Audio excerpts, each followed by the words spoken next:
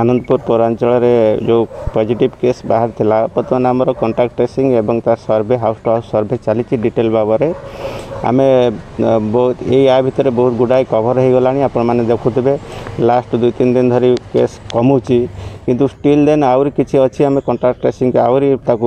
करने सर्वे आहरी डिटेल करने जिलापा